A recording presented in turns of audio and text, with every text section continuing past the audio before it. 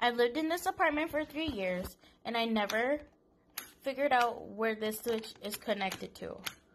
This one's for the hall. Hmm, I'm gonna figure it out today.